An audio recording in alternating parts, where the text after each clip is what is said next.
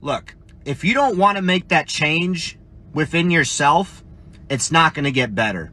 This might not apply to everybody, but if you feel like you're rock bottom, okay, and you're hoping for a better day, but you literally are doing the same thing over and over again, expecting different results, that's the definition of insanity. You are provided with a choice every day. You are provided with multiple choices throughout the entire day. Take that choice, make that change. You've identified a problem. You're saying you're rock bottom. Got it. You're there now. There's only one way, and it's up. So change your mindset. Use that choice and go a freaking different direction. Love y'all. Faceman VTT out. Day three of retirement. As an infantryman, I was asked if I could clean the sink. So let's look at this. Definitely some kind of grime on there. And I open up the cabinet. What do I use? Nothing comes to mind. Like my experiences, my skill set. Nothing. Wait a minute. Everyone knows this is how you clean everything. Infantry, retired. You can take it. Uh, uh, would you like a military discount? Uh, oh, do you offer one? Uh, we do. Honest cap of the day. CiCi's Pizza is the county fair of restaurants. You go in there, you look around, you feel a little bit better about yourself, then you realize that you're in there too. Tell me I'm wrong. Well, let's be honest. You know, not everybody's made for this life. Scary. You know, you got to jump out of a plane while it's moving. That's not natural. It's high. It's it's fucking wet outside sometimes. It's snowy. It's hot. It's dry. It's shitty. Who the fuck would want to be airborne? Best job, fucking best job I ever had.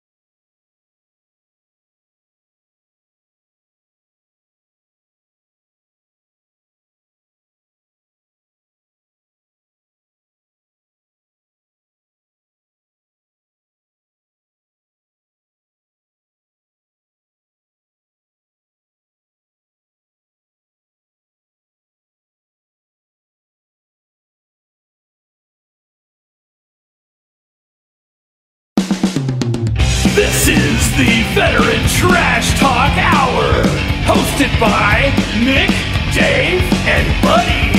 Real warriors making fun of other real warriors. Try to not get triggered. What's up, Trash Talkers? What's up, Gruntworks Nation? We are live a little bit late, and I'm oh, I'm going to get into it, okay? Because he just it's just added added to the triggers, okay? But uh, hey, welcome to the Trash Talk Hour. We got uh Hersh, all right, from the Hersh Shit Show. Uh, so she's uh she's on all the pages. You see her comment once in a while. She has a great logo, and the, like I said, it's the best name of a podcast I've ever seen uh, her shit S S H Y T uh, show. It's freaking awesome, but uh, we'll get into that later as well. Uh, with us because I'll, I'll get into my trigger in a second, but with us is uh, VTT's mental health warrior Clifford Bauman. All right, you catch his show uh, live every Thursday, and he's also on Reach Across America. And then we're, we we we let the bottom feeders come up today. All right. Like normally we keep Chris in a basement, you know, where nobody can talk to him, see him, right? and he just does his work for the company. But we're gonna let him uh we're gonna let him shine today. Uh so it's a it's a risk we're we're we're willing to take. So if you're on the thread, say hi, say where you're watching from, uh, drop a comment. And uh, again, the best thing you can do is just share it because we like to promote veteran owned businesses the best that we can. Uh, veteran owned anything. Uh, doesn't matter if you're an apparel company, doesn't matter if you're a podcaster, doesn't matter if you sell goats. All right, we had a guy in here sold goats. We'll, we'll fucking we'll promote you. Like, don't care. Like, like it is what it is. Uh, but hey, big shout out to uh, 10th Mountain Whiskey. I know we don't usually do the sponsors much anymore, but they're big friends of ours, and uh, big veteran supporters out in Colorado, and right now they have a brandy that's getting voted on uh, top ten USA Today. It's second that's- currently. All right, currently second. So scroll back on the screen or go to Veteran Trash Talk, uh, the Facebook page, and see the link on there. Go vote for that brandy. I don't care if you drink it or not, just vote for it. I'm telling you right now, it's really good. It's and then good go brandy. order. Yeah, and then go order it, and then use the code VTT.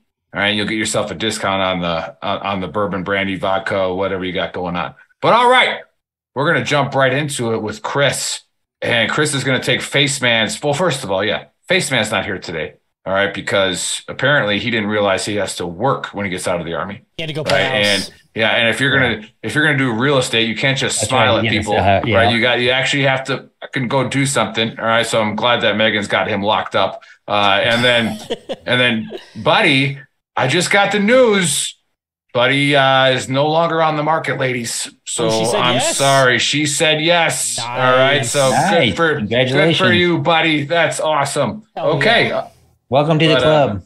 yeah, welcome to the club uh, again. So, but, uh, but Buddy's awesome. Uh, he's like I said, he's the most, he's one of the nicest people on the planet, and he's also one of the most lethal people I've ever met on the planet. So it's a, it's a be nice to him or fuck Those around and find out. one, You gotta watch out for. So yeah, like, so he'll he'll smile at you and play dumb with the Alabama accent, but he's real smart, real qualified. Uh, and so best of luck to you, uh, buddy, and everything you got going on. So all right, over to Chris. VTT's muffin fingers or the baker or the fake Asian, whatever we feel like calling him. That's what he is. Whatever. So, so all right, Chris, what you got? So I've been talking to Dave about this conspiracy for quite some time, and I'm just gonna say, you know him as DB Cooper, but his name was Dan Cooper. This is the story about the only successful and unsolved airjacking in aviation history. This man jumped on a plane in Oregon, was going from Oregon to Washington got to Washington, handed the uh, stewardess a note. This is back before there was any kind of like security or anything like that. You just walked on the plane. They didn't check IDs, nothing. You know, no full body cavity searches, anything like that. And so he got on the plane with an attaché and what? a briefcase. Okay, yeah. Um, sits in the very back of the plane, talks to the stewardess, hands her a letter, goes, You need to read that. She's like, Oh, you're just flirting with me. He's like, No, I've got a bomb. You need to read that. And uh, she reads it and he goes, Come sit next to me. I've got a bomb. He makes his demands. He asks for $200,000, two main chutes, and two reserve chutes, two back chutes, two front chutes. Um, they land in Seattle. He lets all the passengers off. He lets some of the crew off, keeps the pilot, the co pilot, and like one or two of the stewardesses. Says, make a bolt to Mexico. Starts flying to Mexico When did he get the money? at Seattle. They brought it Okay. on. Okay. Mm-hmm. They brought the parachutes and the, the money on in Seattle. Two hundred thousand dollars in twenty dollar bills. Twenty seven pounds worth of. He, he fucked up. Didn't didn't say, you know, this is supposed to be whatever denomination. They just gave it to him. Airlines like, yeah, we'll pay it. Everything gets loaded up, and he's like, head to Mexico City. And they're like, we don't have enough enough fuel for Mexico. How about Reno? And he's like, Reno will do. They get about an hour in the air, and he orders the stewardess to go to the front of the plane. He opens the door to the back of the plane because this was a, a Boeing 727 where this it had the rear stairs, one of the only planes that did. Opens the plane up, jumps out, never to be seen again. The only physical evidence they found was like three years later, in 1974, they found three bundles of the $20 bills because they had it, the serial numbers are recorded. Mm-hmm. And then half a pack of cigarettes and his tie was left on the plane. The bundles were found on the Columbia River about 20 miles from where the supposed drop zone was. Never to be seen again. Nope. So the big thing is, is is he still alive? Is he dead? Did he die that night? Did he live on for years? There's been a couple suspects here and there. He's been top of the FBI's most wanted list. It's one of the only cases unsolved within the FBI for so long. It's what's your what's your take? I, I think he made it.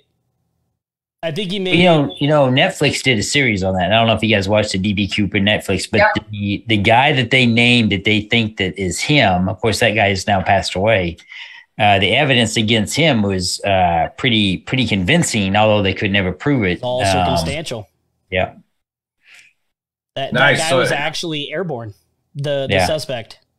All right, let's start. Let's start with Hersh. Um, see what her take is. Um, but before that, you know, Brian's watching from Southern Appalachia. We got Courtney checking in from Pennsylvania. We got Bobby coming in from South Carolina. All right, they're saying hi. Uh, hey, you guys go ahead and put your opinion down on who DB Cooper is. Did he do it? Did he survive? What's he got? But Hersh, what's your take on it?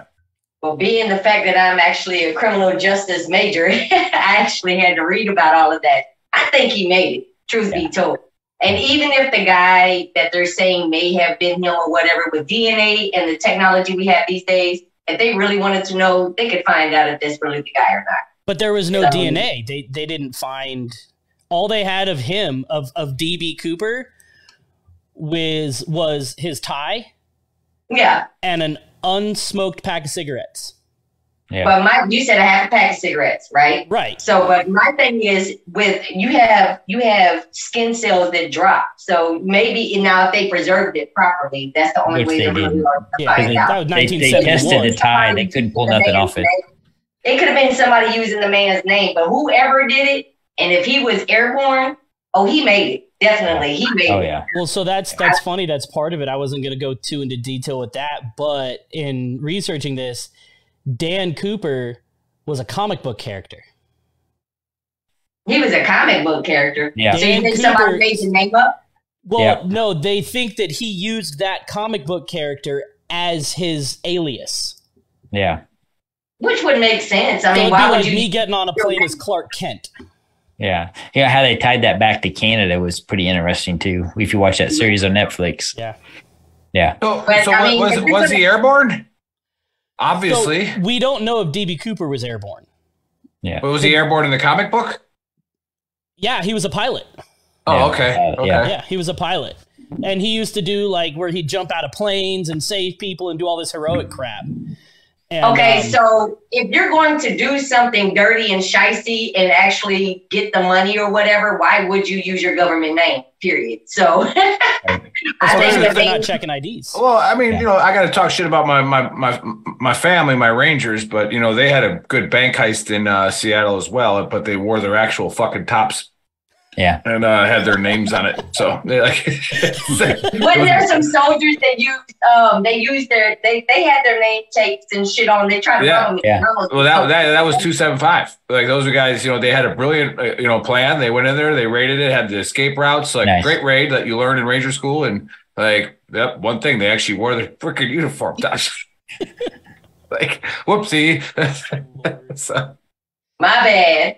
But I think the guy made it. I, and in all reality, whoever that gentleman was, whatever his name really was, I think he made it. I honestly think he made it and possibly lived the best life he could live, and nobody fucked around and found out. yeah. yeah. That's right.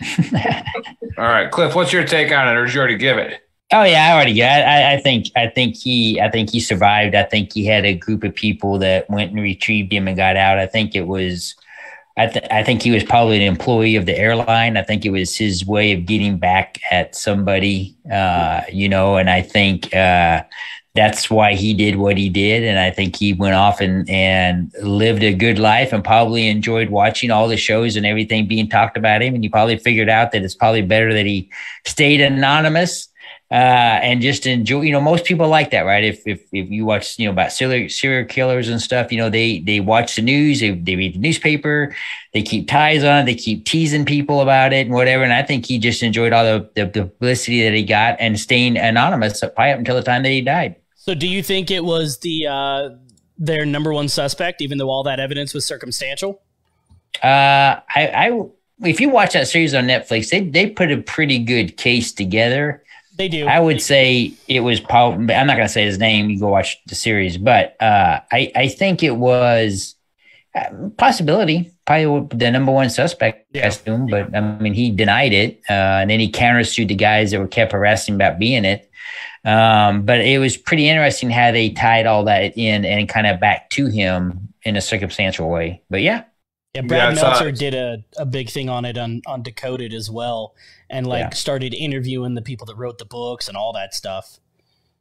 But hey, I got to step away for a second. I got to run Lloyd to a quick party. I'll be back in about 10 minutes or so, and I'll Yep. be back All right, on. And hurry then, the hell up. I know, right? All right, I'll be right back. So, What about you, Nick? Well, yeah. So I mean, it's it's. I think uh, I I could take two looks at this. Uh, I could take uh, an objective and a subjective look. All right. So the the subjective look, you know, obviously being my opinion, um, is that he, you know, one hundred percent got away with it. Obviously, right? Like. And I think that you know he has some airborne skills, and you know, like I said, the movies, I run my life based off of movies, and you have Goodfellas, right? You have, you know, Henry Hill, who was the 82nd paratrooper. Okay, no big deal. Um, but you know, he gets into the, you know, he gets into the organized crime and are able to, you know, make the heist of the century at the airport, which is a true story, you know, and so they, but they also made the mistakes of, you know, spending all the money and all of a sudden, you know, government eyes start going, Hey, where did you get that new car?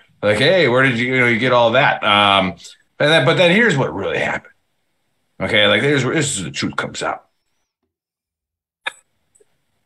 It, it was the CIA.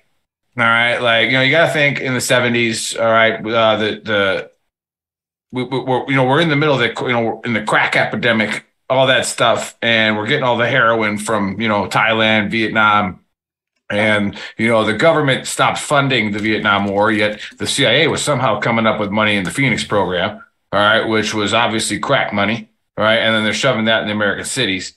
But I'm thinking if if, if that two hundred thousand dollars, which doesn't seem like a lot, what's the inflation rate? What is that equivalent to now? Oh, let's Like- find out real quick. Yeah, probably like a million, million five. I was maybe- about to say a it's little gotta less. be over new.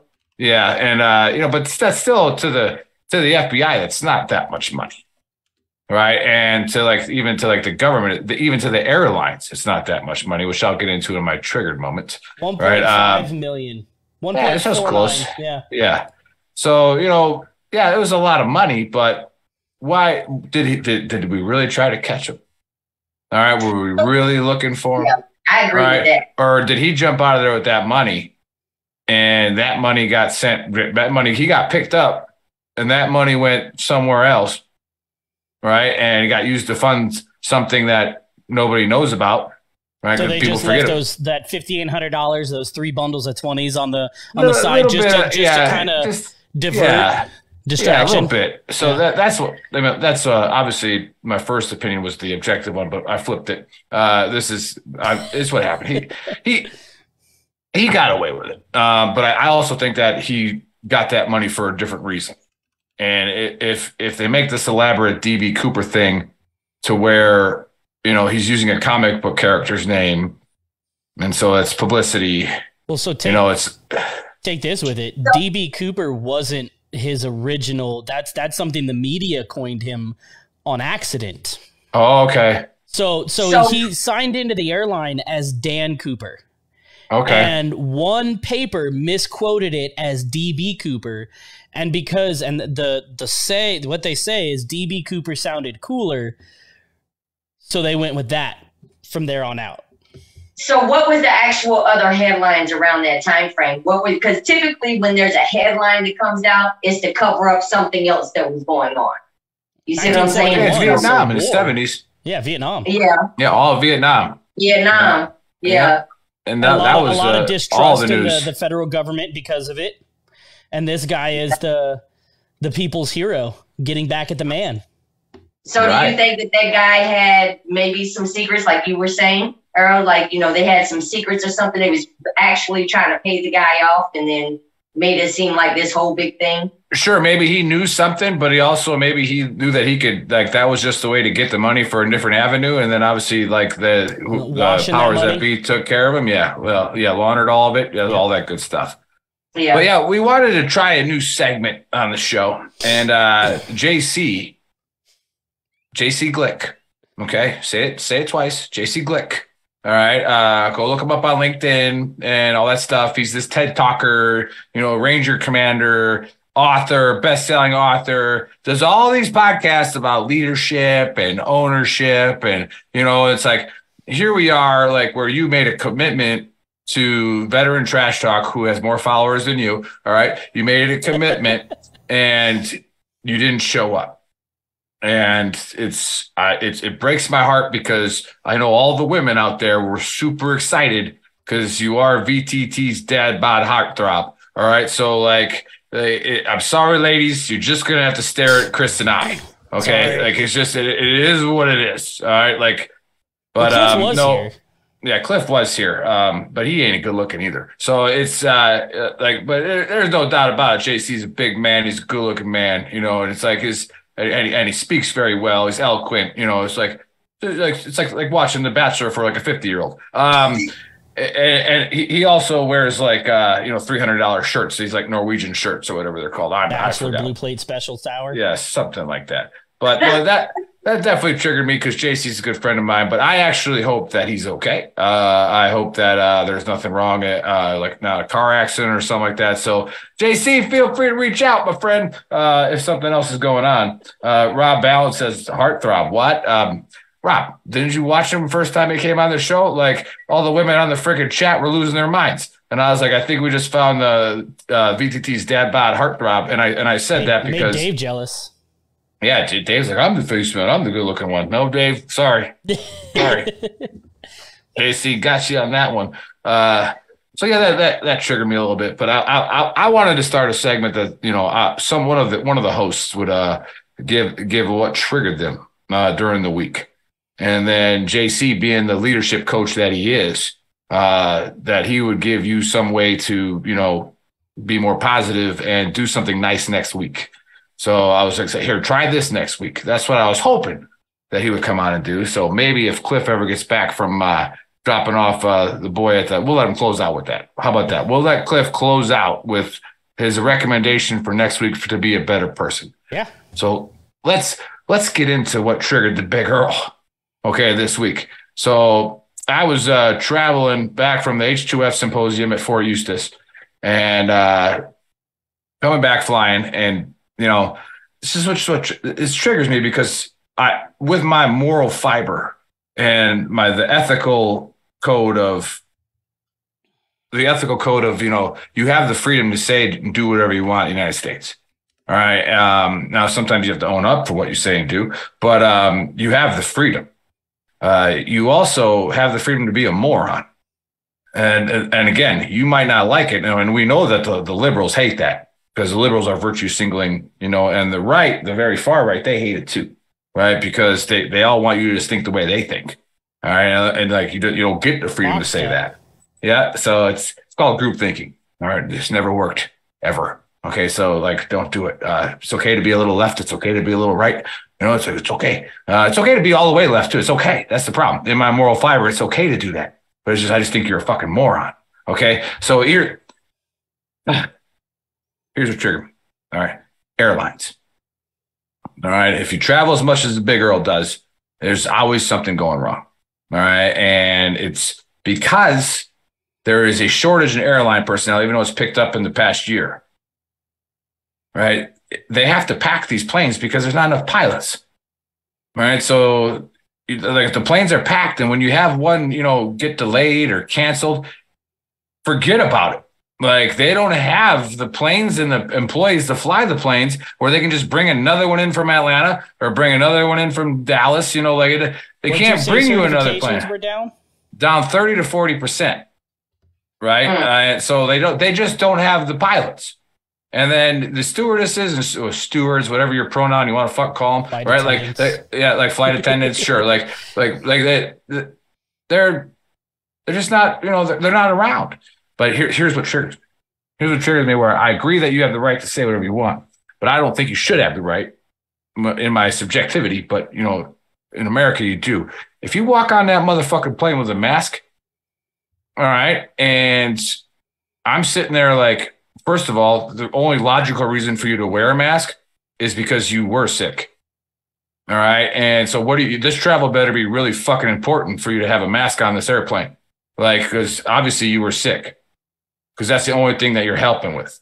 And then you obviously ignore the science, the actual science that we're on an airline with the recirculated air program. It's the cleanest air you're ever going to be in. Like, ever. and they've already done all this. There, there wasn't one COVID breakout on an airplane Trust during the entire. There's, there was never one breakout. Why? Because they recirculate that air so much. Now, obviously, if I turn and sneeze on you, yeah, you're fucked, right? But like, you know, it's like, like, like it is what it is. But so here's what triggered me. So we're delayed, and this guy sitting down next to me with a mask, you know, and he like he's like, and, and he kind of like, you know, he just, he just, he just. I'm judging a book by the cover. He's just giving off that I'm a, you know, I'm a virtue singling progressive liberal type vibe, you know, and I'm like sitting there like, like, you know, I'm just like, whatever. And so he, you know, he takes, he takes his mask off when he gets the Coke and the cookies. Okay. So because he's a super fucking healthy person, he orders a Coke and eats cookies. Right. But now he's safe, right? Because he's eating, right? He's doing all this stuff, you know, and and then he starts whining about how long it took for the flight attendant to get there. And then he was bitching about the delay.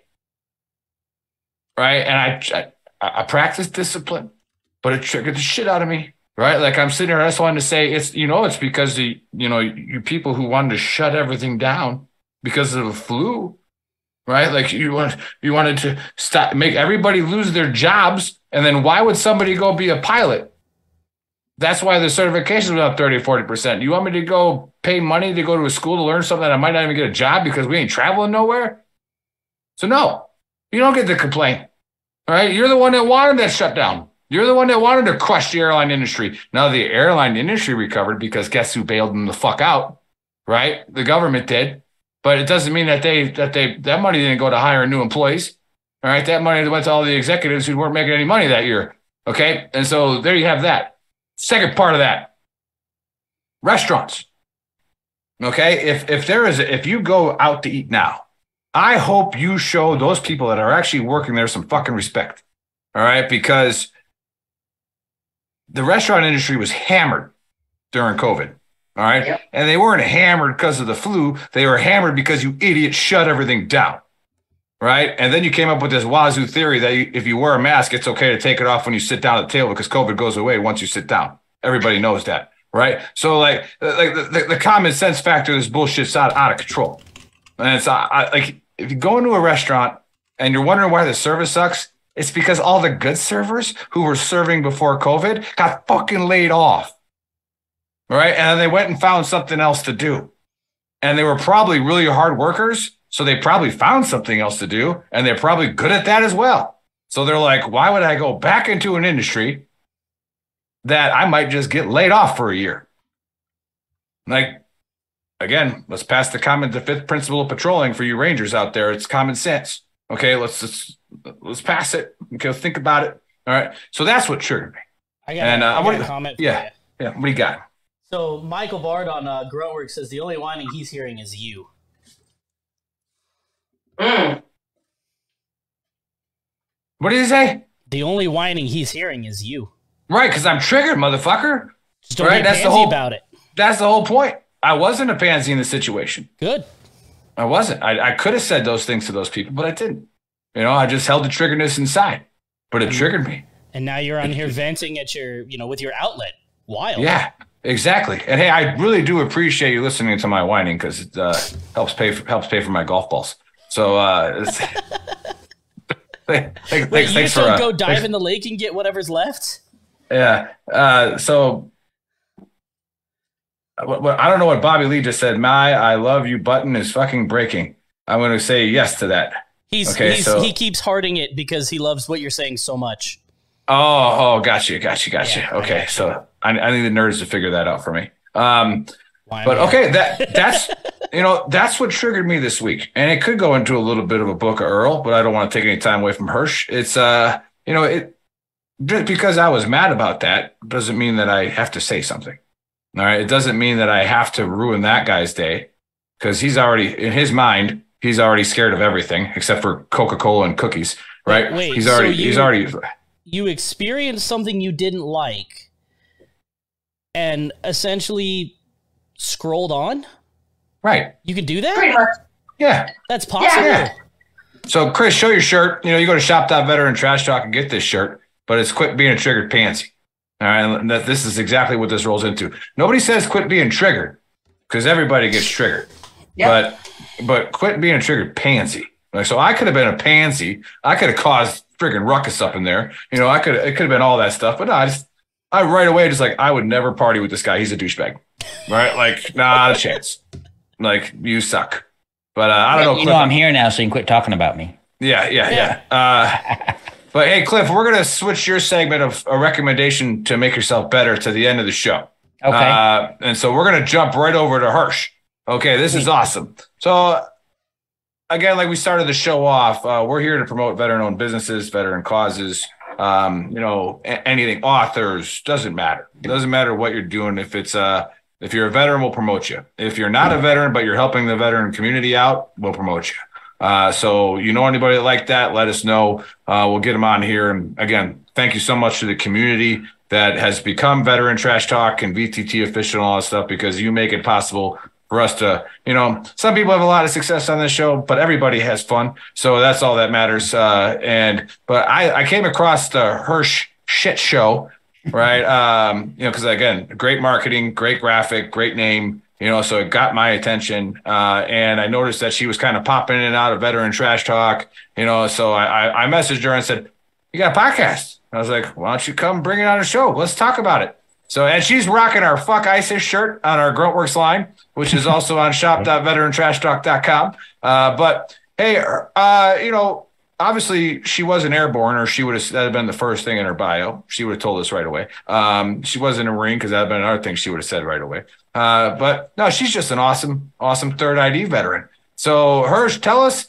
tell us what you got going on. Tell us about your service a little bit and, uh, you know, your show and how it came together. Give everybody who doesn't have the, you know, the, uh, the ovaries to start a podcast, you know, and, and the, and the skills to do it. So, uh, what you, what you got going on? Look, first and foremost, I ain't even got no ovaries no more. So let's get that part out of the way.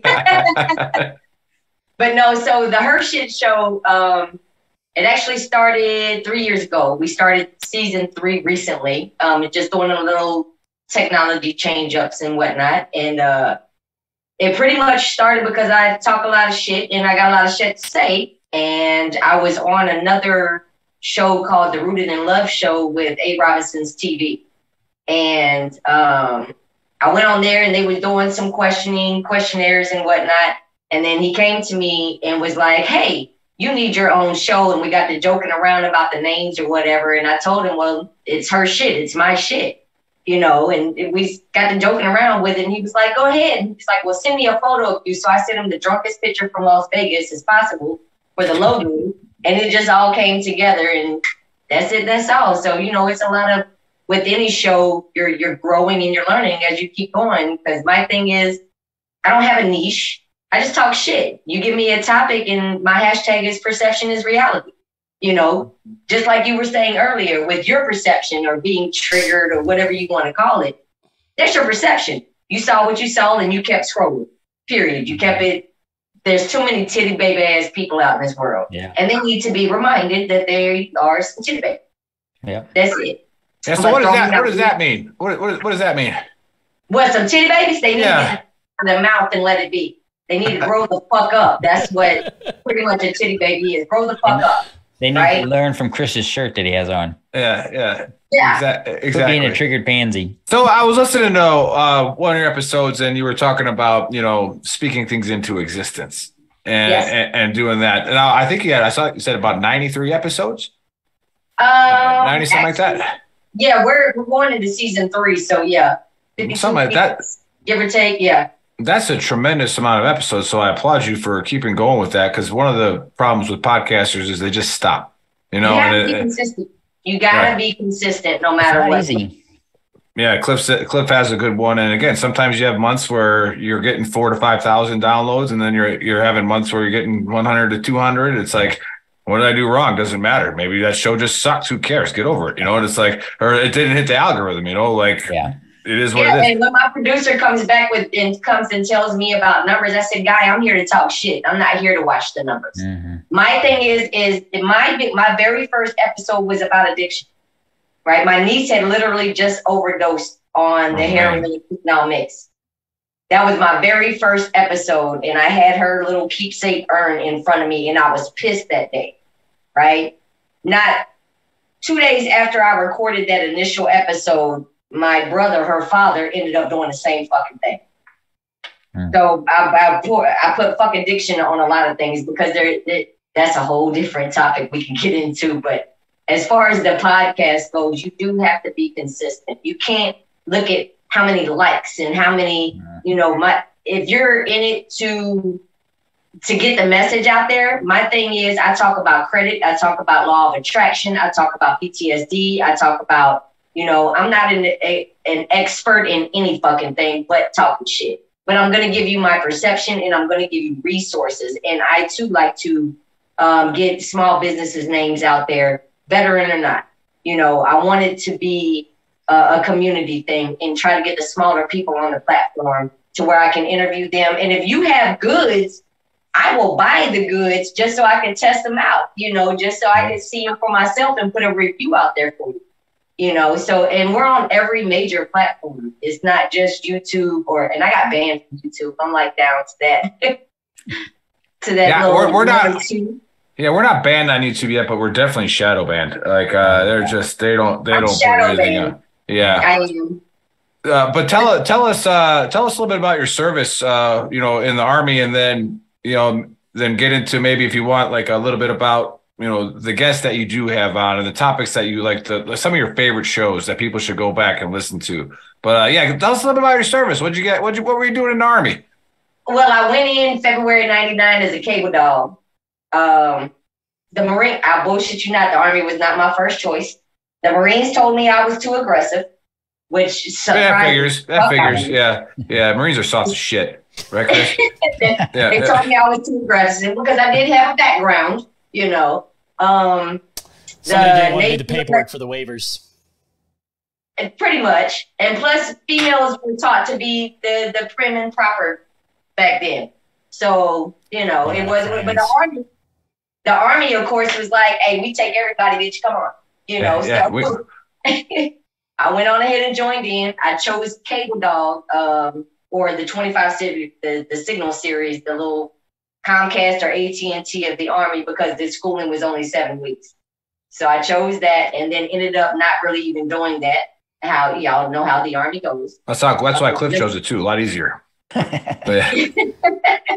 So I got tossed into an orderly room and then I got tossed into supply and then went to supply school eight years after the fact. So I deployed. Well, hey, talk talk about that. So you didn't do even do your job? You got put into. I rarely did my cable dog position. Rarely. I ran like if they needed somebody to run and put some fibers down to the side or drive the LMTV, I was your gal. But other than that, I was logistics.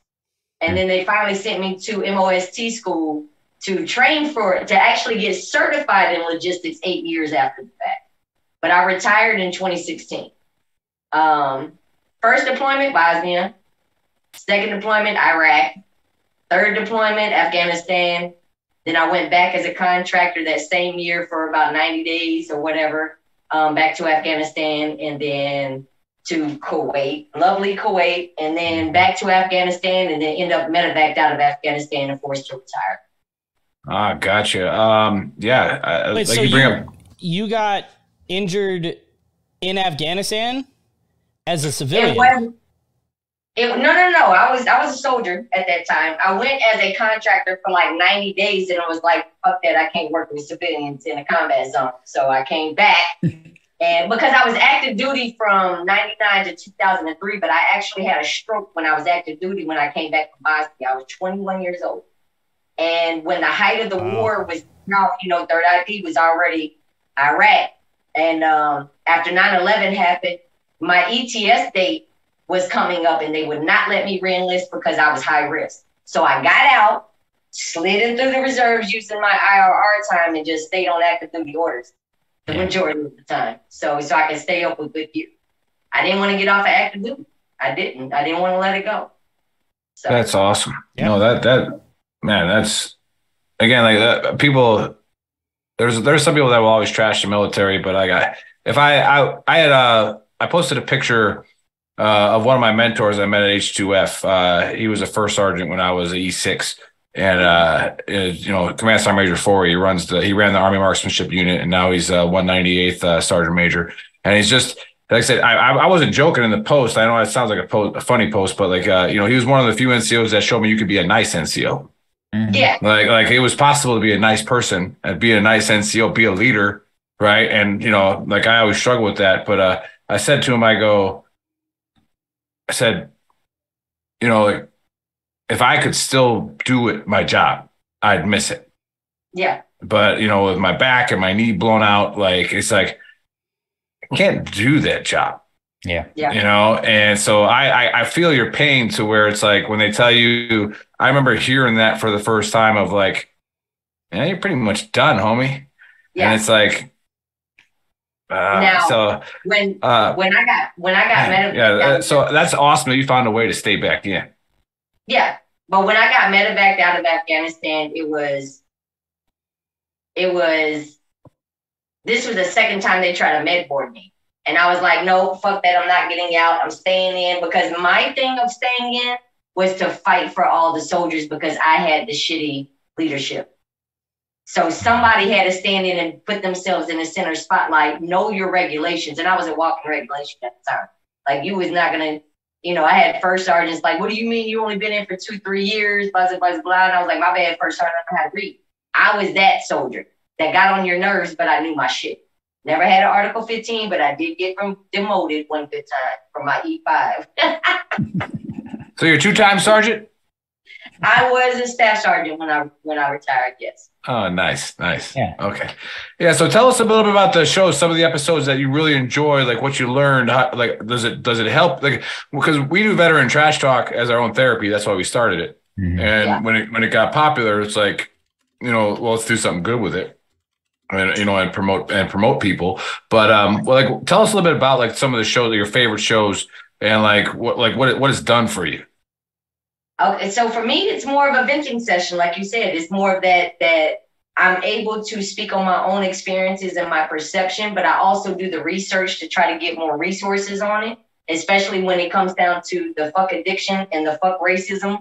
Those those were my my two favorite shows, and then of course with the credit, you know, getting people to think about um, not keeping up with the Joneses, living within your means. Like some people need that harsh reality you Yeah. know, and then complacency versus comfortability because people get complacent, you know, and they start what I tell people is stagnant water starts to stink. So the more you sit there and you're complacent and, and you're not really trying to move on or learn something, if you're not learning something new every single day and trying to better yourself in some kind of way, then then you're fucking up. That's just my perception. Period. Because you can learn from the youngest generation to the oldest generation. There's something that you can still learn in between ain't nobody perfect. None of us. And just because we speak on our experiences, we're not triggered or whining or venting or whatever, you know, whatever people may assume. But everybody is entitled to their opinions. So my favorite shows that I have done on the Her Shit Show, I've been able to interview um, veteran owners that have started telecommunications businesses since they've gotten out. Um, my niece actually started her own tax business and she's certified with credit repair and tax repair and tells people how to get their money. You could be a stripper, you could sell lashes, you could do hair, you could do whatever, you know, but she's certified and she's not going to bullshit you. Um, I've had anywhere from just normal people doing interviews, but my goal is to do documentaries. And I did finally get in with the um, the VFW down the street, which is a long lost location that a lot of our generation has not gotten involved with. Sounds and I familiar, really Nick. Yeah, that that. Oh, don't worry. We'll talk about that after this in a second. Yeah. Yeah. And so I, I started, I found a new home. 50, 5408 is my new home for the VFW down the street for me. And my, my goal is to start doing documentaries on the Vietnam. If it wasn't for the Vietnam vets, us Iraqi OEF and OIF vets Mhm. wouldn't have the shit that we have Yeah. Because they paved the way. They fought and they battled. My father was one of them. You know what I mean? So I think that we definitely need to start giving back to our older vets. Well, Yeah. they were. Yeah, the Vietnam veterans were 100 percent forgotten. Oh yeah. Yeah. That's why. And when, that, when, that irks me. Yeah, and like we, uh, you know, I've helped coach a few Vietnam veterans on getting benefits as of as of even last year. Yeah. You know, and it's like, like, like, how how are you not, you know, how are you not tracking this? Yeah. Like, you know, and it's it's just it's sad that they just I mean, they just drove on. That's what they know. They're just like, you know what? Government sucks. See you later. I'm Yeah. out. Yeah. You know, when I was, then in, I was in Baton Rouge because when I left, when I when I retired, I started working with FEMA, right? So you know, traveling to the different locations for disasters and stuff like that. I met a Korean War vet, and you know, and I had I had my um my bronze star is on my keychain, one of my you know my bronze star keychain or whatever, and he noticed it and he asked me if my husband served. And I, you know, I had to bite my tongue a little bit because, you know, back then it was a man's arm, you know, Yeah. whatever. So we got to talking and chit chat. And I actually borrowed the young lady where the store I was at. I borrowed her laptop to go ahead and lock him in on the, the VA website and stuff like that. We have to start doing stuff like that. We have to be better Yeah. at, Yeah. at assisting the older vets. And I, I do get a little triggered about that too with the VFW. Um, and that's actually Veteran Trash Talk's long term goal is to replace the VFW. Uh, we want we want to have you know hard stand structures, you know, where we have a place that vets can come hang out. And like you said, the GWOT vets, and even a lot of the Vietnam vets, they don't want spaghetti dinners and Busch Light, like, and they and they don't want one pool table and a smoke filled bar. You know, and it's like that. That was fun for me growing up in Milwaukee. Like, I love that shit. Like, I love the little tiny bar that I, I can go, you know, play pool in. But let's get the resources to where we can actually have things that people from GWOT, which is three different generations of people. It's Yeah. 20 freaking years of war. Right. Yeah. So it's like like you got Generation X, even some of the boomers even fought in GWOT, like, you know, and Y and Z and uh, everybody. So Yeah. like I, I'm not going to give all of the information to ROA because somebody with money will jack it before I Yeah, can do don't it. yeah, don't give out the ideas. We'll talk offline on that one. But Yeah. you know, I, I think you know, of course, I, I'm I, I'm a member of one of the largest VA, well, the largest VA post, you know, uh, here in Virginia, and you know, they really do a good job here in catering to, you know, other uh, other ages, and they're they're usually really busy. Um, VFW. Now they they do flea markets, they do gun shows, um, they hold events there all the time Family oriented. family oriented. They do like a yeah. wings, like a dollar wings family night. Um, You're always going to find those places though that is Yeah. that that diamond in the rough. The problem is is an organization like that that needs to be the gold standard. That needs to be the majority of them, Yeah. not the the here and there. Yeah, You know, Yeah, we're and I so was getting ready to say, so when- so many of us that yeah. When I was down in Hampton, the VFW there was just you know, like you said, it was a smoke filled room, an old building. You know, they had a couple pool tables, an old Same old TV, and yeah, I mean, it You was know, I blame, I blame, I blame the GWOT. We forgot ever since Vietnam. You know, they nobody's really went to that location. And American Legion has fallen off as well. Yeah. Right. We de- we Oh, definitely could. We de- yeah. Us veterans could definitely share that responsibility. You're right. Yeah. Um, but again, the point is, is that when I had my conversation with the VFW, the you know their their headquarters, and Yeah. we were talking about Buddy and I's Fifth Principle podcast going on tour with them because Partnering with Troxel, yeah, Trox, Troxel's been there's their lead spokesman now, and he's been on the show multiple times, got us connected, and it was like, hey, we'll go on tour and you know we'll start doing events at your VFWs that are struggling Yeah, you know, and start and start try to get GWOT soldiers to show up, yeah, yeah. you know, one in and St. In, uh, it was St. Louis. We did one. yeah, right, and it's like that thing was a beautiful VFW, but it was just dead, It you know, and it was like Six it's people like- maybe. imagine if we were able to put money into marketing, you know, have a podcast there with you know GWOT veterans, and then you know actually doing a GWOT thing, a family thing, getting people there, Yeah. showing them, hey, look at this nice building that you can come hang out in, right? Like, see this, you know, like let's let's let's get this going.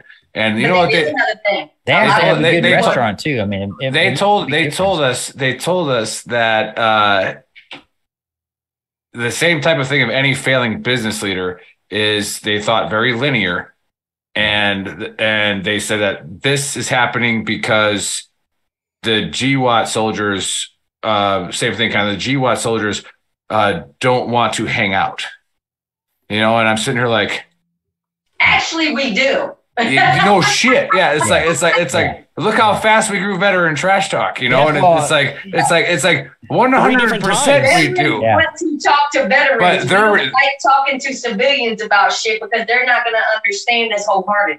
Yeah. Right. So- and, and everybody who's been in any type of leadership course will tell you that the greatest leaders, they look when there's a problem, they look in. Right? Now- they look yeah. they look at, at themselves Yep. and and they say, Is there anything that I need to do?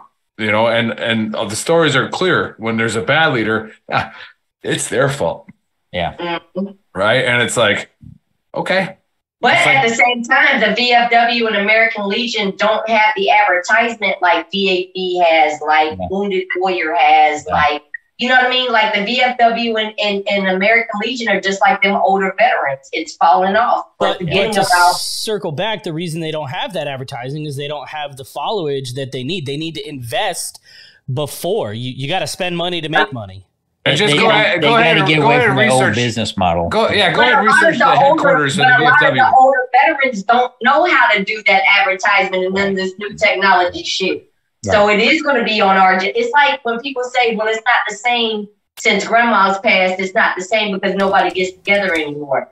It's our turn to pick up the torch and run with it. I love that. I love that. So Yeah. I like you know Christmas on my mom's side was grandma had everybody over, Yeah, everybody, and that's complete. Obviously, I was traveling in the military, so I, but anytime I can make it back, I'm like, hey, where's the party after the holidays? Uh, Yeah. We kind of do. We kind of do our own thing, and I'm sitting like. That's not cool, you know. So like, so I- I'll I'll put my personal life out there again. One of my one of my major goals is not to be rich. I can't like I always tell people like I don't have a number. Don't have a number on what your goal is. Have have something that you can achieve. yeah, Because if it's just I want to be rich, well, what's rich? Yeah. Yeah. Right. If I want to have a million dollars, then what? What happens when you get the million? Right. Yeah. Like I, I'm sure you'll have yeah, you'll have money, you know, cool. But like, no, I want to be able to I want to be able to have a place big enough to bring my family in, like my whole family. Like, hey, Christmas, you're all coming here yeah. like and, and we're doing it right like and so that it, I, that's hilarious that it's it's that you said We that have to but be. It's our generation's turn to pick up the torch and run with it. We have to stop depending on the the the the moms and the grandmothers and the uncles and aunties because that generation is sadly they're they're dying off. right And if we don't pick it up and run with it, who the fuck is gonna do it? Well, now with We society can't these days, we are the, the grandfathers and the grandmothers and all that. Yeah. Well, And know. but we can't but no about we're- not having something if we're not actually taking a piece and trying to put into it. and you all four I of all four of us right now are bringing up points to where where I always say stop thinking linear all right? Think systematically. Like you know there's it's a big big system okay? There's lots of factors. There isn't one reason why your business is failing No. all right? Like there, there might be one major reason but there's probably 16 things contributing to that. And Yeah. that's why I love golf so much. Like I was teaching my daughter golf today a little bit and I was like it's like you I don't care how athletic you are. I don't care you know what you're doing. If you have your back foot two inches off of where it should be it's going to cause four different things wrong in your swing. Yep. right? No matter no matter what. So it's like that is the Ripple great that is the yeah the greatest game to think about. There might be six or seven things wrong. Right? Mm-hmm. so let's let's look at the entire system. And so like what you brought up what cliff brought up what chris is bringing up all these things but they still go back to the head of the snake. So if, if, when and i talked to the head of the snake and the head of the snake was right away pointed out. And you know and it was like oh i already don't like you like like like you should have been pointing in like hey we're di- we're identifying these five problems Yeah, can can you help yeah, you know, as opposed to just blaming GWOT people. It's like, Yeah. how about you, like you said, how about you hire some GWOT people, like, like actual, like some 25, 30, 40 year olds in that range, 25 to 40. Hire, sp- hire people in there, right? And say, what are you guys doing nowadays? Well, we, we love playing Fortnite. You know, I, like, like, Look okay, at, let's look at have, the boot campaign. Why not get Let's on have- with that? let's Yeah. have a Fortnite competition. Yeah. You know, like, you know, let's invest in some PS5s, you know, bring them into the, you know, bring them into the VFWs, have some game rooms. Yeah. You know, like who plays pool anymore? Chris does, you know, but we, we always I mean, you know, the one down the street, I do do too. I do too. I play pool. a bunch of stuff. So do I. But I'm saying like nobody does that anymore. Like they just don't you don't go to pool halls anymore unless you were raised in like a city or a family that had it. Like, oh, I still do. I'm just saying like you- we can't we can't look at what we like to do. We got to Yeah. look at like what encompasses The the majority. majority. Yep. Right, Yeah. right, right. So yeah. I get All right. that, and people love to eat. So if you bring out the smokers and do some plates and all of that good stuff, there's ways to do it. Uh, Food is, food is the fucking- universal way yeah. to bring everybody together, just And- not and- spaghetti dinners. And I will tell I you think a lot of times people just get too too busy. People are too busy. It's go go go go go go go go in this society. It's just whatever you know. And plus, stress levels are extremely high. You know, and and fucking inflation and everything else. People are too busy trying to figure out what they need to do to take care of home. Yeah. Well, you know, if, you know, if you watch my mental health minute the other day, that's what I said. You got to just stop Shameless plug. the noise, right? You got to stop the noise around you and take a step back and look.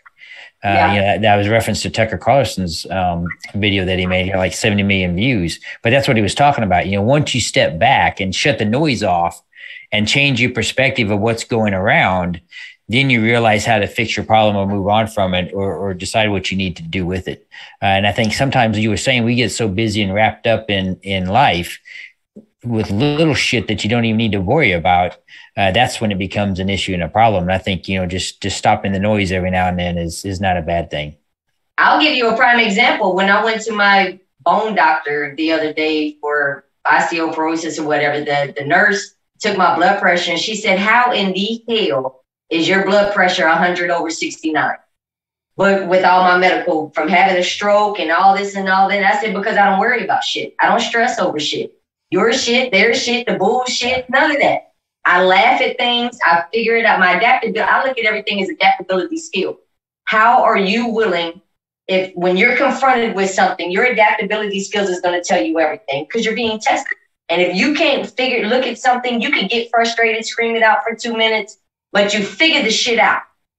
Yeah. You don't stop and and and stagnate right there into because stagnant water starts to stink. Period. That's right. I right. love no that. matter which way you do I it. love that. Stagnant water starts to stink.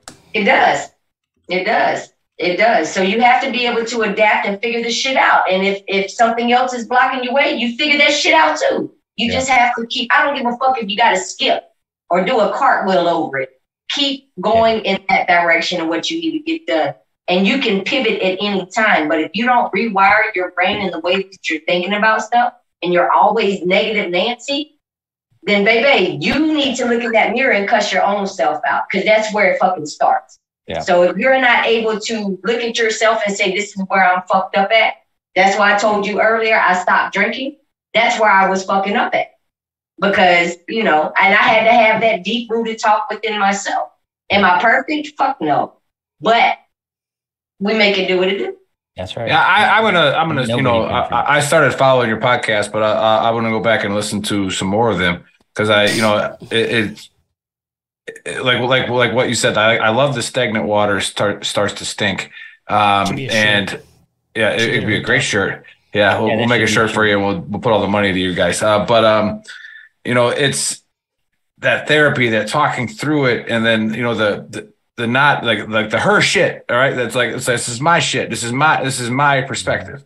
And then what you said this here is brilliant, and I, I I've done some book of rules on this, uh, just in a different language. But um, we're not hypocrites.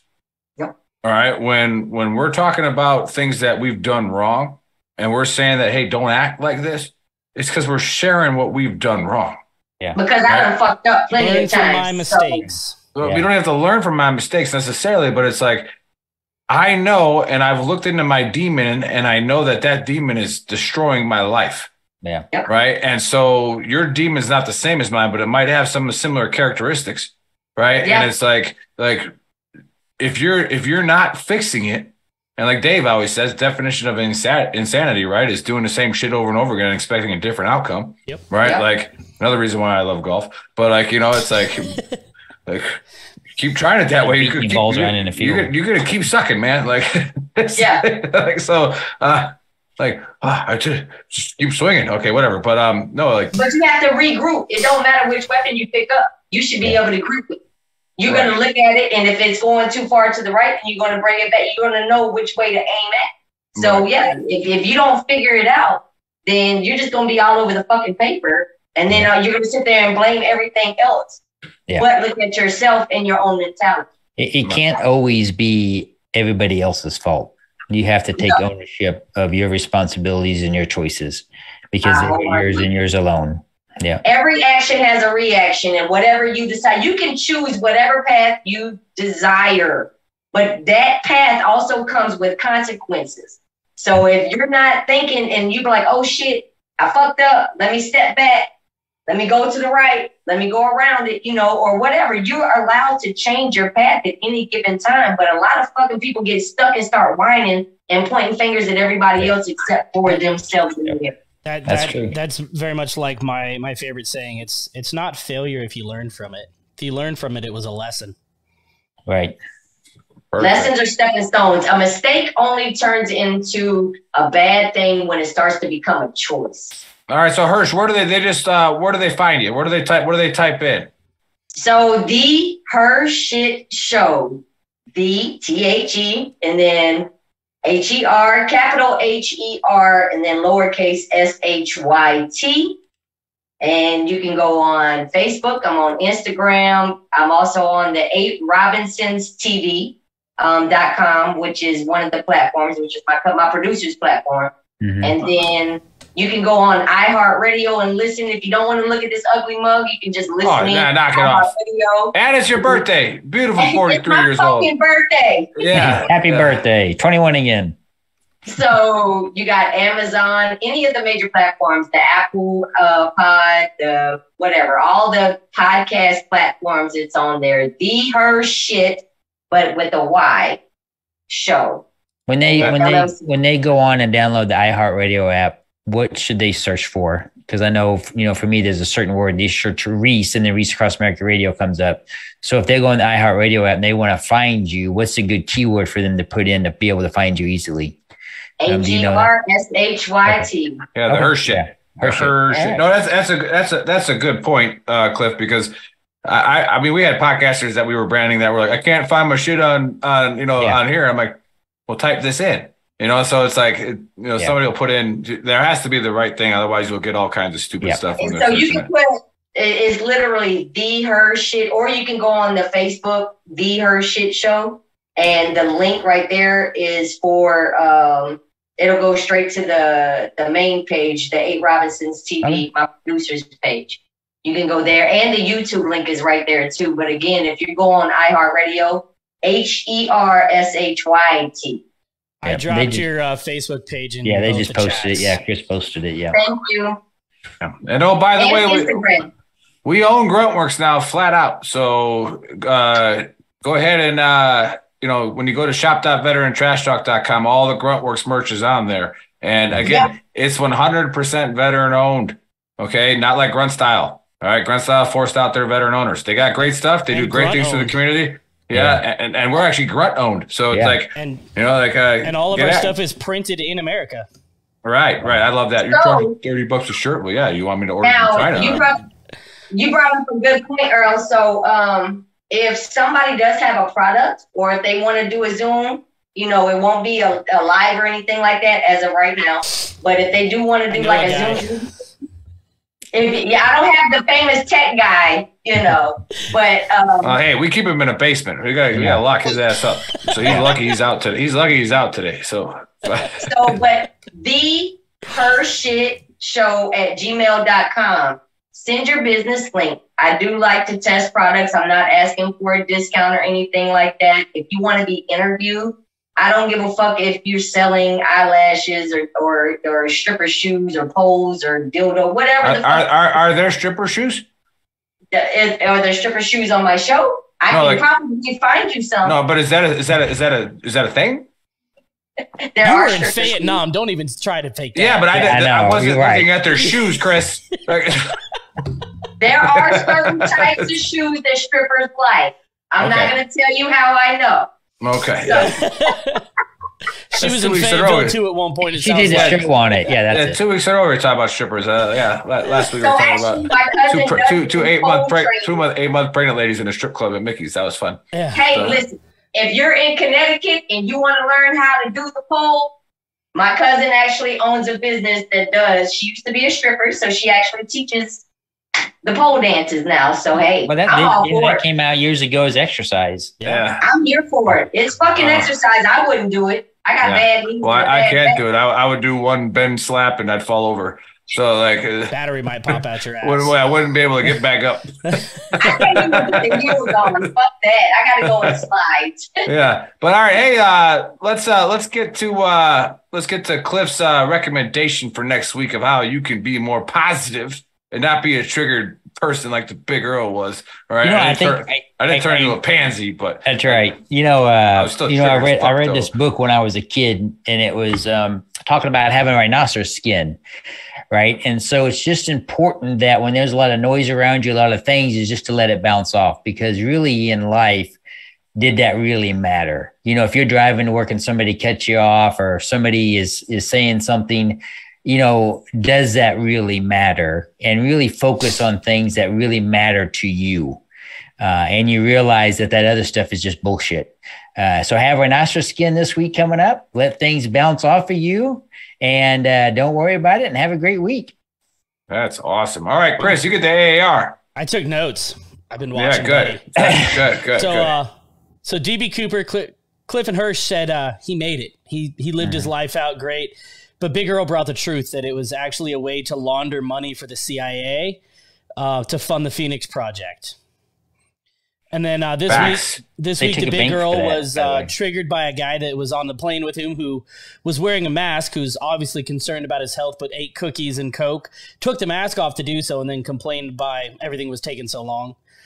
Um, Hersh is a badass. When when the army tried to quit her, she still wouldn't quit. She found a way to get around Right. that loopholes, and right. um, she doesn't worry about bullshit. Flat out. Nice. And uh, the the new shirt coming out is going to be stagnant water starts to stink. Yeah, love that. Yeah. Stagnant water starts to stink. Ah, well, perfect, perfect. And uh, Hersh, uh, before we give you the last words, again, go to uh, shop.veterantrashtalk.com or order all our merch there. Again, it's veteran owned. Um, we're working on to get our prices down when we're taking it step by step and we're getting there. Um, but uh, you know, we got to start somewhere. And uh, so again, if you're whining about the 30 bucks, you know, maybe you don't need to be buying our shirts. but That's- here- here's but, but that's that- but that's I- fine. You don't have to buy it. Like The, we're okay the with it. quality of the t-shirts, hands down, is the best Oh, quality it. when you go out and buy them, and not just the the material because the material is soft and stuff. They they don't shrink. It's Uh, just Two and a half- this is two and a half years old. Yeah, you know, and they don't they don't fade. So I mean, you pay a little bit, but you're paying for a good quality T-shirt that's going to be around for a long time. And, you know, Listen, if, if people are fucking paying for Louis Vuitton bags and, and designer shoes, then they can get a t-shirt that's gonna last. That's That's right. Look at Supreme. Yeah. Yep. Um, But um, yeah, that's uh, you know, I, thank you for all coming on the Trash Talk Hour. Uh, we had a blast like we always do. Uh, Hersh, please stick around after uh, we cut the live. Uh, we'll chat a little bit more, but um, go download her podcast. All right, if you're a veteran, listen to two. If you don't like it, then unsubscribe. That's fine. But go subscribe and get on that podcast.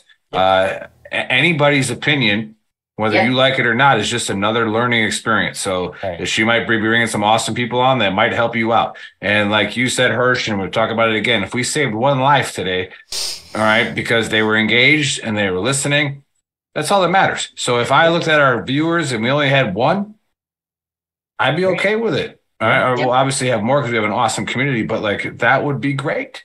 Like we had Yep. one person and you had a lot of birthday wishes. All right. You had uh, A lot Yeah. of birthday wishes. Ro- Ro- Rob saying happy birthday. Thank you. Yeah, we got uh, Brian say happy birthday. Becky, my wife, say happy birthday.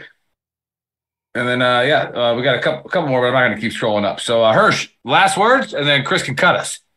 All right, so go to, you can send topic ideas too if you want my perception on something. I do not say anybody's name. I only talk about the situation.